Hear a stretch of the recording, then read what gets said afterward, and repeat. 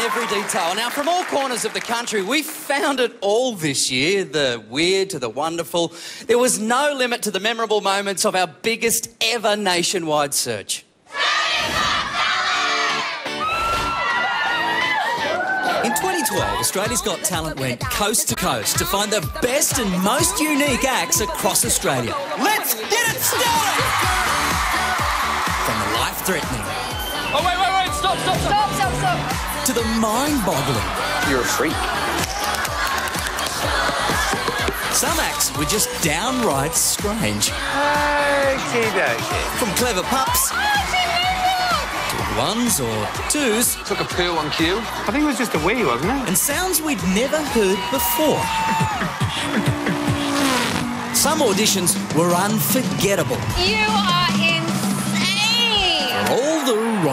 Reasons. My aim isn't to be in a boy band, Chief. We had the wonder of magic and the mystery of mind reading, I drew an aeroplane with clouds around it. through to the hilarity of our comedians You want to celebrate Christmas? You go to Christmas Island. You want to find a virgin? You go to Norfolk Island.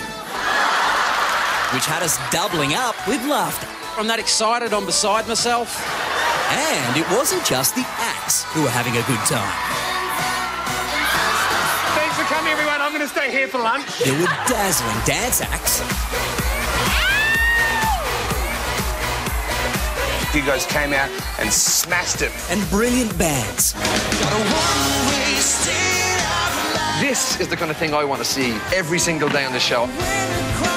That was unfreaking believable.